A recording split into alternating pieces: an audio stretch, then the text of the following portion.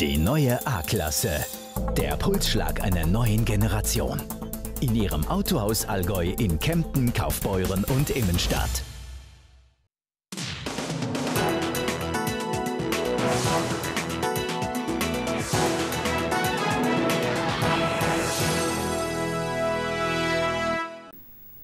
Ich begrüße Sie zu TV Allgäu Nachrichten. Schön, dass Sie eingeschaltet haben. Das sind die Themen am heutigen Dienstag. Renaturierung Schorenmoos. Interessensgemeinschaft in Dietmannsried kämpft gegen Wiedervernässung.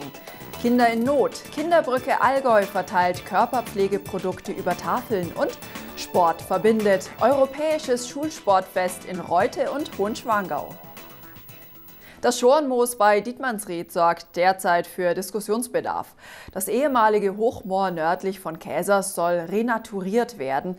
Das wurde im Rahmen der Gebietsbetreuung Allgäuer Moore beschlossen. Wenn es nach dem zuständigen Forstbetrieb Otto Beuren geht, könnte es mit der Wiedervernässung auch losgehen. Nur die Anwohner haben da etwas dagegen. In einer Interessensgemeinschaft haben sie sich zusammengeschlossen, um für das Schorenmoos zu kämpfen. Nein zur Abholzung. Die Interessensgemeinschaft Schornmoos Allianz setzt klare Zeichen. Worum es geht, der knapp 60 Hektar große Hochmoorbereich in Käsers bei Dietmannsried soll renaturiert werden. Sprich, Bäume werden gefällt, die Fläche wird wieder vernässt. Die Anwohner fürchten nun, dass ein für sie wichtiges Naherholungsgebiet verloren geht.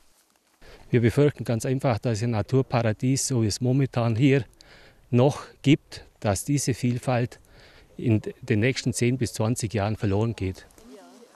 Im vergangenen Jahrhundert wurde der Hochmoorkern im Moos entwässert, abgetorft und aufgeforstet. In vielen Bereichen konnte sich das Moor aber regenerieren. Seit fast 60 Jahren nun steht das Fleckchen Grün unberührt da. Das wollen Vertreter der bayerischen Staatsforsten und der Naturschutzbehörde nun ändern. Aus diesem Moor soll wieder ein wachsendes Moor werden. Im Moment ist es ein schrumpfendes Moor. Auch wenn man das nicht sieht, das geht natürlich sehr langsam vor sich mit entsprechendem Ausstoß von klimaschädlichem Kohlendioxid, aber auch Lachgas und andere klimaschädliche äh, Gase. Also das muss man, wenn man es macht, gescheit machen oder gleich sein lassen. Ganz oder gar nicht. Genau das möchte die Interessensgemeinschaft nicht hören. Ihr geht das gesamte Projekt zu weit und viel zu schnell. Also die Interessensgemeinschaft ist nicht grundsätzlich dagegen. Die Interessensgemeinschaft will eingebunden sein, um das Paradies so zu erhalten. Wir wollen auch die Nass- und Moorfläche, die es jetzt gibt, erhalten. Wir sind nur gegen diese Hauruck-Politik, die jetzt äh, vonstatten geht. Das heißt, wir sind in keinster Weise eingebunden und fühlen uns einfach äh, selbst von den nächsten Volksvertretern, sogar von der Gemeinde, fühlen wir uns alleingelassen. Im zuständigen Forstbetrieb in Ottobeuren lässt man dieses Argument nicht gelten. Wir waren schon öfters beieinander. Die haben von dem Redaturierungsplan alles das, was sie bräuchten, äh, wenn es um die Bedenken geht. Die Schornmoos-Allianz hat aber noch weitgehendere Befürchtungen. Da für die Renaturierung die künstlichen Entwässerungsgräben angestaut und Gehölze entfernt werden müssen, könnte ihrer Meinung nach der Grundwasserspiegel auch in den umliegenden Flurstücken ansteigen. Das wiederum könnte zu Schäden an den umliegenden Häusern führen. Weil so eine Vernässung und so ein Grundwasseranstieg ja über viele Jahre passiert. Das heißt, wie will der Privatmann in 15 Jahren beweisen, dass das passiert ist durch die Wiedervernässung? Das heißt, es gibt einen Rechtsstreit, der unabsehbar ist für die Anlieger. Also die Planung ist so angelegt, dass das überhaupt nicht passieren kann. Aber wir werden auch da äh, mit Zusammenarbeit zum Beispiel mit dem Wasserwirtschaftsamt schauen, dass wir da Beweissicherung machen. Und das, es ist einfach von den Gegebenheiten her eigentlich auszuschließen. Wenn das so wäre, muss ich sagen, wäre für mich das Projekt gestorben. Die Interessensgemeinschaft will sich so schnell nicht geschlagen geben. Ihnen wäre es am liebsten, in die Planungen einbezogen zu werden und die Kartierung noch einmal zusammen mit den Behörden zu überarbeiten. Der Forstbetrieb Otto Beuren bezieht dazu eine klare Position. Zusätzliche Infos für die Bürger ja, die Planungen noch ändern, nein. Wir könnten im Zweifel kurzfristig loslegen, aber wir werden jetzt zuerst einmal warten. Wir haben ja noch eine große Informationsveranstaltung. Da sind dann alle möglichen Fachleute da, die die Geschichten, Fragen, auch Bedenken natürlich viel besser noch beantworten können als ich. Es scheint, als wäre das Projekt Schornmoos beschlossene Sache. Wann allerdings mit den Maßnahmen begonnen werden soll, ist zu diesem Zeitpunkt noch nicht bekannt. Ein bisschen Zeit bleibt den betroffenen Parteien also noch, um gemeinsam auf einen grünen Zweig zu kommen. Eine Infoveranstaltung zum Thema Schornmoos findet am Donnerstag, 25. Oktober um 20 Uhr im Goldenen Hirsch in Schrattenbach statt. Wie viel Geld geben Sie eigentlich im Monat für Ihre Hygieneartikel aus? Für Shampoo, Zahnpasta, Haarspray und Co.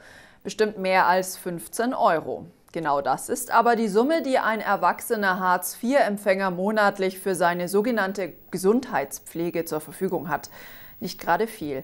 Bei den Kindern sieht es natürlich noch einmal anders aus. Laut der Einzelberechnung des Regelsatzes haben 7- bis 14-Jährige nicht einmal 5 Euro für Hygieneartikel zur Verfügung.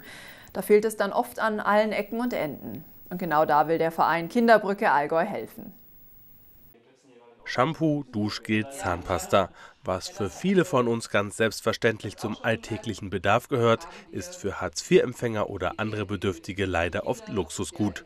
Besonders Eltern in finanziellen Schwierigkeiten würden an diesen Artikeln für ihre Kinder sparen, weiß Sabine Burg-Seitz von der Hilfsorganisation Kinderbrücke Allgäu.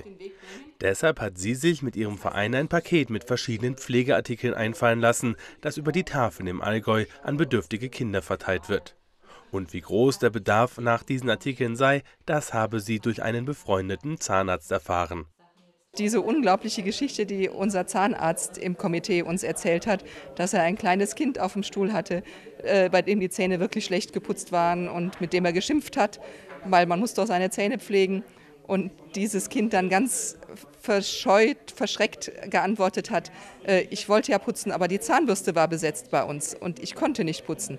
Und äh, ja, das hat uns bewogen, diese unglaubliche Geschichte äh, zu versuchen, zumindest mal die Familien, die in den Tafelläden einkaufsberechtigt sind, äh, deren Kinder mit solchen Artikeln zu versorgen eine Drogeriekette, ein Hersteller von Babyprodukten, Zahnpflegehersteller. Partner, die beim Füllen der Pakete helfen können, wurden schnell gefunden. Dann habe ich diese Firmen angerufen und bin da eigentlich offene Türen eingelaufen, weil die alle von Anfang an von diesem Projekt begeistert waren und gesagt haben, ja, das machen wir, da unterstützen wir euch, das ist regional, das ist hier im Allgäu, wir sind Allgäuer Firmen und unterstützen euch da sehr gerne. Einen ganz besonderen regionalen Partner habe man in den Allgäuer Werkstätten gefunden. Hier werden die Pakete nicht nur gepackt und an die Tafeln ausgeliefert, sondern auch Seifen und Duschgels für den Inhalt der Packungen hergestellt. Auch zukünftig wolle man das Projekt weiter unterstützen.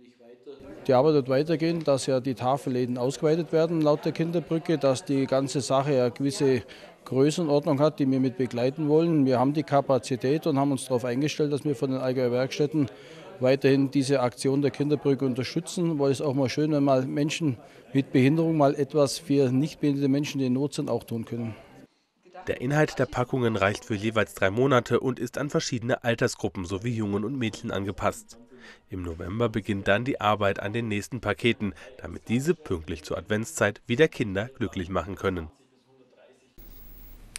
Ein glückliches Kind mehr gibt es seit kurzem auch in Jordanien. Die Allgäu Orient Rally sammelt im Rahmen ihres Hilfsprojekts Hörgeräte, die in Deutschland nicht mehr gebraucht werden. Die werden gereinigt und überholt. Anschließend bekommen schwerhörige Kinder in Jordanien die Geräte eingesetzt und angepasst. Und so hat jetzt ein jordanisches Kind das 1000. Hörgerät des Hilfsprojekts der Allgäu Orient Rally bekommen. Weitere Meldungen des Tages haben wir gleich für Sie in Kompakt. Druckprüfung, TV-Untersuchung, Kanalsanierung. Wir prüfen Ihre Abwasserleitungen. Dort immer eine saubere Lösung.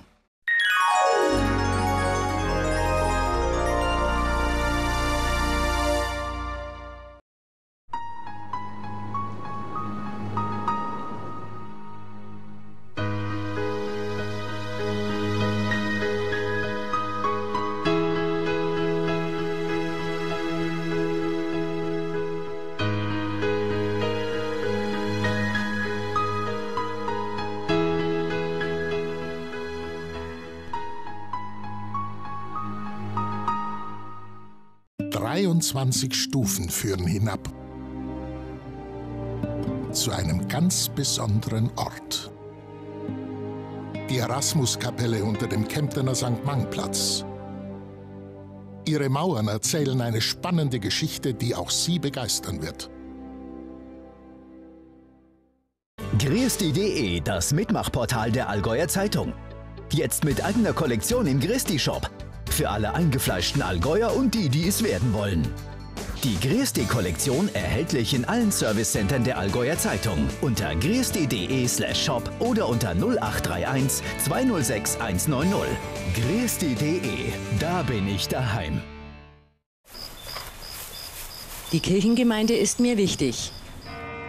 Wir wollen mitgestalten. Wir engagieren uns gerne in der Kirchengemeinde.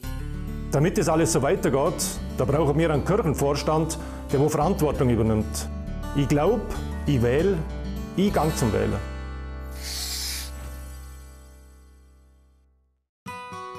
Natürlich abnehmen. Ich mache weiter. Ich traue mich wieder essen. Ich spüre mich wieder. Kein Kind muss dick sein. Ernährungsberatung mit Verena Berger. Wohlfühlgewicht und Genuss beim Essen heißt Freude am Leben.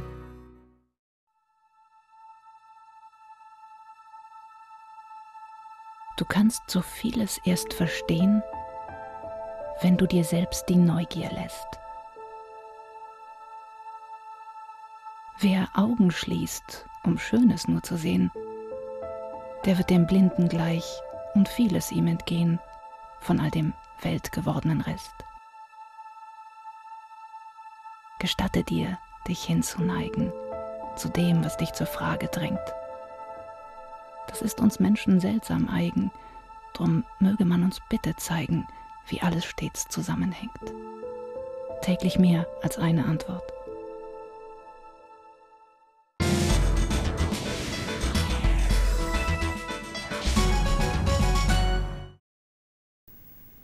Die Meldungen vom 9. Oktober 2012.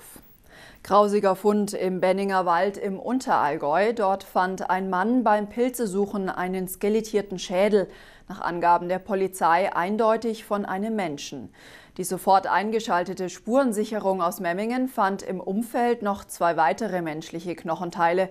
Sie dürften ebenso wie der Schädel mehr als 20 Jahre im Wald gelegen haben. Hinweise darauf, um wen es sich bei der Toten oder dem Toten handelt, gibt es noch nicht. Ein Rechtsmediziner und die Kriminalpolizei Memmingen befassen sich jetzt mit den weiteren Ermittlungen. Ein Spaziergänger hat gestern in der Nähe einer Kiesbank in der Trettach bei Oberstdorf einen toten Mann gefunden. Der 69-jährige Urlauber aus Rheinland-Pfalz war zuletzt am Sonntag in seiner Frühstückspension gesehen worden. Als Todesursache nimmt die Polizei Kempten einen Unfall in Verbindung mit gesundheitlichen Problemen des Mannes an. Die Allgäu-Walser-Card soll auch im Landkreis Lindau eingeführt werden. Das hat der Kreisausschuss für Wirtschafts- und Regionalentwicklung entschieden. Ein entsprechendes Konzept zur Weiterentwicklung der Karte wird jetzt erarbeitet. Insgesamt interessieren sich 13 Westallgäuer Gemeinden für die Einführung der Allgäu-Walser-Card. Der Landkreis Lindau stellt für die Einführung der Karte 80.000 Euro als Anschubfinanzierung zur Verfügung. Die Allgäu-Walser-Card bietet derzeit Touristen im Oberallgäu und im Kleinwalsertal viele Vergünstigungen. Wer morgen im Westallgäu zum Arzt gehen möchte, muss damit rechnen, vor verschlossenen Türen zu stehen. Die Ärzte dort beteiligen sich an einem bundesweiten Protesttag, mit dem sie noch einmal ihre Forderung nach mehr Honorar und weniger Bürokratie Gewicht verleihen wollen. Letzte Woche sind Verhandlungen zu dem Thema zwischen Vertretern der Ärzteschaft und der Krankenkassen ergebnislos vertagt worden. Der Protestmarsch soll vom Berliner Platz Richtung Altes Haus auf der Insel in Lindau ziehen. Für Menschen, die am Mittwoch dringend zum Arzt müssen, ist ein Notdienst eingerichtet. Nähere Informationen gibt es unter der Telefonhotline 116 117. In Heimenkirch ist am Wochenende die neu gestaltete Bahnhofstraße offiziell für den Bundesstraßenverkehr freigegeben worden. Bis zum Umbau der Straße war der Durchgangsverkehr durch das Zentrum der Gemeinde geflossen. Die Verlegung sollte einen verkehrsberuhigteren Ortskern schaffen und dem Straßendorf eine richtige Mitte geben. Um dem Verkehr Platz zu schaffen, mussten fünf Gebäude der Bahnhofstraße abgerissen werden. Die Riedbergpassstrecke wird aufgrund von Asphaltierungsarbeiten von Donnerstag bis Samstag dieser Woche vollständig gesperrt. Die Sperrung betrifft die Obermeiselsteiner Talseite. Die Passhöhe ist noch über Walderschwang erreichbar. Der Verkehr wird umgeleitet. Rund um den Käse ging es am Wochenende beim dritten Allgäuer Käsecup in Weiler-Simmerberg. Neben einem Bauern-, Käse- und Heimwerkermarkt stand auch ein großer Käsewettbewerb auf dem Programm. Rund 100 Laienprüfer hatten sich angemeldet und konnten aus vier unterschiedlichen Arten je zehn verschiedene Käse testen. Dann wurde unter anderem nach Geschmack und Mundgefühl bewertet. 26 Käsehersteller hatten dafür ihre Produkte zur Verfügung gestellt. Auch ein Kinderprogramm war geboten. Höhepunkt hierbei war dann ein Weltrekordversuch, bei dem tatsächlich mit 284 Fahrzeugen die größte Trettraktorschlange der Welt gebildet werden konnte. Jetzt hat die Mindelheimer Baufirma Riebel auch ihre Hochbausparte an die Memminger Firma Kutter verkauft. Das teilt Riebel nun mit. Betroffen seien 135 Mitarbeiter. Diese sollen aber ihre Arbeitsplätze und bis dato erworbenen Ansprüche behalten, heißt es in der schriftlichen Mitteilung. Agieren wird das Unternehmen auch weiterhin unter dem Namen Riebel. Zuletzt waren bereits die Sparten Baustoffe und Tiefbau an Kutter verkauft worden. Die Preisträger des zweiten Fotorun Kempten wurden jetzt ausgezeichnet. Bereits im September machten sich die 100 Teilnehmer auf die Jagd nach den besten Motiven in Kempten. Aufgabe war, Bilder zu Themen wie Kempten hat Ecken und Kanten oder Kempten hat Wirtschaft und Verkehr zu machen. Die Schwierigkeit lag darin, dass die zwölf Aufgaben innerhalb von acht Stunden in einer genau vorgegebenen Reihenfolge fotografiert werden mussten. Wir haben unserer Jury den Auftrag mit oder die Hausaufgabe mit auf den Weg gegeben. Sie sollen unbedingt äh, nach der Originalität und nach der Kreativität unserer Fotografen gehen, sollen dabei auch berücksichtigen, inwieweit Kempten mit in den Bildern zu sehen ist. Und ja, also unsere Jury war recht begeistert und angetan von den Bilderstrecken, die sie vorgelegt bekommen haben. Zu sehen sind die prämierten Bilderstrecken und Fotos im Foyer des Kemptener Rathauses. Die Ausstellung läuft noch bis zum 16. November. Soweit die Meldungen des Tages. Jetzt noch die Wetteraussichten. Das Wetter mit dem Allgäu-Outlet Sonthofen. Top-Marken für jedes Wetter. Der Regen hält die Nacht über im gesamten Sendegebiet an. Vor allem am Alpenrand fallen die Schauer etwas kräftiger aus. Auch am nächsten Morgen sieht es noch nicht besser aus. Der Vormittag ist trüb und nass. Erst in der zweiten Tageshälfte lässt der Regen langsam nach. Die Sonne kommt wieder ab und zu zwischen den Wolken hervor. Donnerstag ist es trocken und schön. Die Temperaturen liegen bei 15 bis 16 Grad. Der Freitag wird zwar noch etwas wärmer und teilweise sonnig, örtlich regnet es aber erneut. Auch am Samstag teils Sonne, teils Regen, es wird wieder kühler. Die Relegationsspiele haben sie verloren, aber die Stimmung war dennoch gut. Beim letzten Spiel in dieser Saison konnten die Allgäu Comets immerhin stolz auf ihren Meistertitel blicken, den ersten für die Kemptner Footballmannschaft in der zweiten Bundesliga. Aus sportlicher Sicht ist das schon ein Höhepunkt. Dennoch wollten wir von den Spielern persönlich wissen, woran sie sich nach dieser Saison erinnern, an die guten und die schlechten Dinge.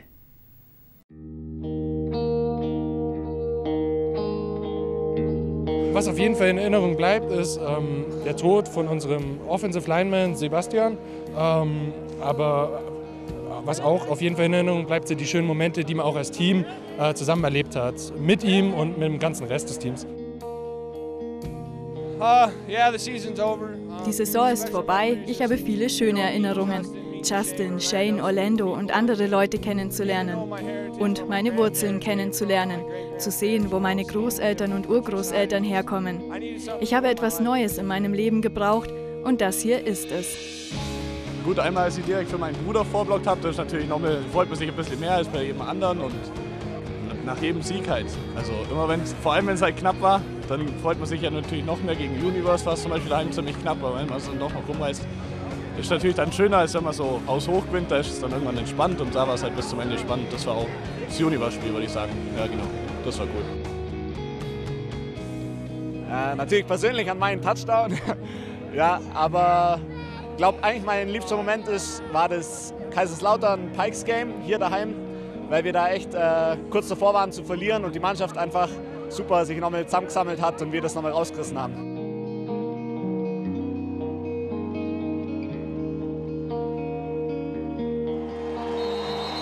TVA coming at you! Yes, I have a lot of special memories. Park Theater. Parktheater. Einfach mit den anderen abhängen und eine gute Zeit haben. Es sind so viele gute Erinnerungen und ich werde keine einzige davon vergessen. I, I will not forget any of it. Anstrengend. Und ähm, ich glaube, wir hatten 18 Spiele diese Saison ähm, mit Testspielen und allem. Und es war sehr anstrengend, aber auch erfolgreich mit dem Titel der GFL 2. Ähm, ja. Long, sehr lang. Yeah. Um, 16 games from 8 last year, 16 Spiele gegenüber den 8 vom letzten Jahr. Aber insgesamt war es eine großartige Saison. Die Mannschaft hat ihre Sache super gemacht. Viele der jungen Spieler waren toll, wenn sie gespielt haben. Und ich kann es nicht oft genug sagen. Ich freue mich so sehr über die Unterstützung, die wir haben von unseren Fans und der Stadt Kempten. Ich bin sehr stolz.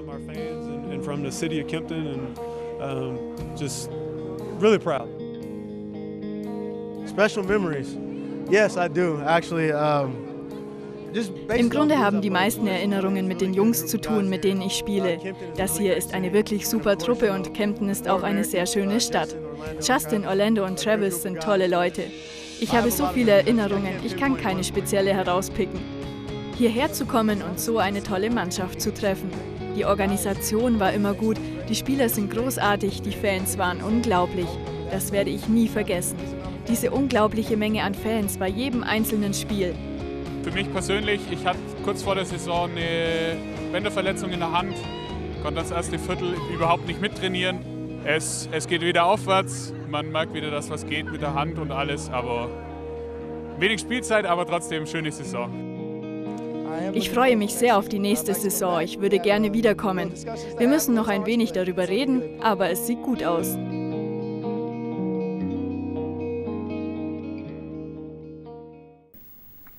Und auch nach der Werbung bleibt es bei uns sportlich mit dem Europäischen Schulsportfest. Bis gleich.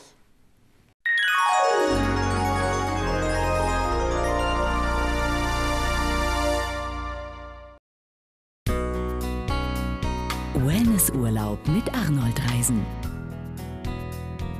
Folgen Sie Ihrem natürlichen Bedürfnis nach echtem Wohlbefinden und innerer Balance. Verwöhnen Sie Körper und Geist und stärken Sie Ihre Gesundheit. Wählen Sie aus zahlreichen Wohlfühlangeboten und verbringen Sie erholsame Urlaubstage in fröhlicher Gemeinschaft Ihrer Mitreisenden. Arnold Reisen in Dietmannsried.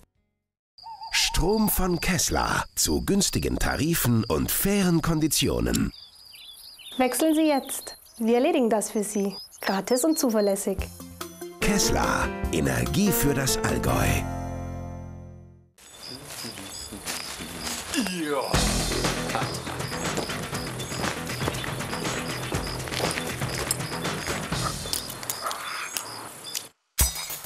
In jeder Situation klare Sicht mit der Femto Sekundenlasik. Informieren Sie sich jetzt über diese hochpräzise, vollständig lasergesteuerte Augenbehandlung. Denn Sehschärfe ist Lebensqualität. Hallo. Hallo? Den Plan habe ich gemacht von dem Gelände. Wir haben uns natürlich ausgetauscht, wie wir das Ganze gestalten wollen. Es hat sich eigentlich dann recht schnell ein Projektteam gefunden, die sich bereit erklärt haben, da auch mitzuarbeiten. Das sind weit über 1000 Stunden, die da ehrenamtlich geleistet wurden. Wenn man sich für Kinder und Jugendliche engagiert und die nehmen das dann wieder auf, dann besteht immer eine große Chance, dass die das auch später in ihrem Erwachsensein weiter transportieren.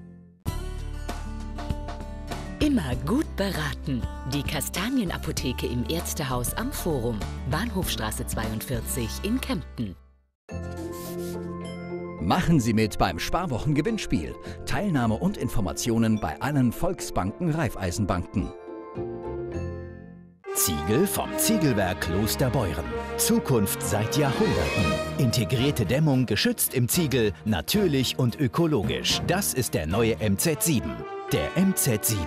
Die erste Wahl für Ihr Wohlfühlhaus. 13. bis 21. Oktober erwartet sie der Memminger Jahrmarkt mit vielen Fahrgeschäften für Groß und Klein. Beim verkaufsoffenen Sonntag am 14. Oktober haben die Ladengeschäfte von 13 bis 18 Uhr für sie geöffnet und am Freitag, 19. Oktober, ist Kinder- und Familientag mit ermäßigten Preisen. Beim Krämermarkt vom 16. bis 18. Oktober bieten die Händler eine große Auswahl an Waren an. Sechs Jahre ist es inzwischen her, da haben die Gymnasien in Hohenschwangau und Reute im Tirol gemeinsam ein europäisches Schulsportfest organisiert. Nachdem die Veranstaltung in den vergangenen fünf Jahren anderswo ausgetragen wurde, macht sie jetzt wieder hier Station. Knapp 300 Schülerinnen und Schüler aus fünf Nationen nahmen auch diesmal wieder am größten privat organisierten Sportfest für Schülermannschaften teil. Ein Stadioneinlauf bei strömendem Regen, das hatten sich die Mannschaften eigentlich ein bisschen anders vorgestellt. Doch dem sportlichen Ehrgeiz tat das keinen Abbruch. Zum Auftakt des Europäischen Sportfests stand heute Leichtathletik auf dem Programm. Bereits zum 42. Mal findet der Wettbewerb statt, wobei er deutlich kleiner angefangen hat. Ja, das war ursprünglich am Ende der 60er Jahre, 1968 war das ein Wettkampf auf bilateraler Ebene, ein Wiener Gymnasium und ein Budapester Gymnasium. Und äh, der damalige Sportlehrer in Wien, Professor Huber, Otto Huber, ist eigentlich der eigentliche Begründer dieser, dieses europäischen Sportfestes. Er hat dann eine Schule nach der anderen eingeladen, darunter auch Reute. Heute nehmen Mannschaften aus Deutschland, Österreich, Italien, Rumänien und Ungarn teil. In acht unterschiedlichen Disziplinen haben sie sich miteinander gemessen. Doch neben dem sportlichen Ehrgeiz hat das Europäische Sportfest noch etwas anderes zum Ziel. Der Reiz ist äh, die internationale Begegnung.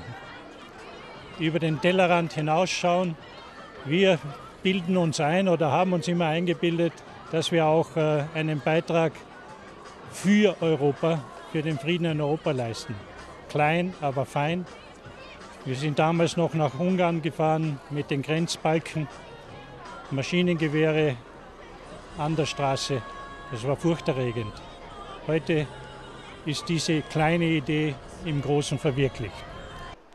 Ganz groß auch die Leistung der Sportler, ob beim Hochsprung oder in anderen Disziplinen. Die Ergebnisse waren durchaus vorzeigbar, trotz schlechten Wetters. Ja, natürlich beeinflusst das den Wettbewerb, vor allem die Leistungen der Schüler. Die sind natürlich dann etwas schlechter. Wir sind aber dennoch ganz zufrieden, weil es ja, nachdem es heute Nacht sehr stark geregnet hat und jetzt heute Morgen auch noch, ja, immer wieder mal ein bisschen tröpfelt und wir insgesamt haben wir jetzt die Hälfte des Wettkampfes hinter uns und äh, sind ganz optimistisch, dass wir das über die Bühne bringen, ohne dass uns die Schüler zu nass werden oder krank werden dann. Natürlich, wenn sie einfach zu lange im, im, im Regen draußen stehen. Welche Schule das Sportfest ausrichtet, wechselt von Jahr zu Jahr. Europäischer Austausch ist den Organisatoren hier wichtig, auch wenn sich einige Schulen den nötigen Aufwand teilen. Der organisatorische Aufwand ist riesengroß. Und jetzt ist es so, dass immer, äh, wenn es geht, zwei Schulen das zusammen machen, die in räumlicher Nähe sind. Also zum Beispiel bei uns bietet sich das an, Reute und Honschwangau. Die zwei Wiener Schulen machen das zusammen. Und dann gibt es natürlich auch Schulen, die das alleine machen müssen. Die machen das aber in, in größeren Abständen dann. Also das heißt, die Organisatoren, die Schulen, die das zu zweit machen, kommen in kürzeren Abständen dran und die anderen dann in etwas weiteren Abständen, um das Ganze wieder einigermaßen gerecht zu machen. Am morgigen Mittwoch stehen in Fronten die Schwimmwettbewerbe auf dem Programm. Am Donnerstag wird noch Fuß- und Basketball gespielt. Erst dann kann letztendlich der Sieger ermittelt werden. Da ist ein riesen Ehrgeiz dabei. Sie sehen, das sind zum Teil äh, Vereinssportler dabei, die natürlich viele Wettkämpfe bestreiten, sehr gute Leistungen bringen. Die haben natürlich einen riesen Ehrgeiz und es geht darum, äh, als Schule möglichst weit vorne zu landen. Wir machen jetzt zum ersten Mal eine gemeinsame Wertung Buben und Mädchen zusammen. Bisher waren immer die Buben extra gewertet, die Mädchen. Und jetzt machen wir eine Wertung äh, Buben und Mädchen zusammen. Aber nur für die ersten drei. Und natürlich haben wir Ehrgeiz, aber äh, es macht Spaß. Spaß gemacht, das hat's den Teilnehmern auf jeden Fall, auch wenn das Wetter heute zu wünschen übrig ließ. Das war TV Allgäu Nachrichten für heute. Wir sehen uns morgen wieder, wenn Sie mögen. Ich würde mich freuen. Tschüss und auf Wiedersehen.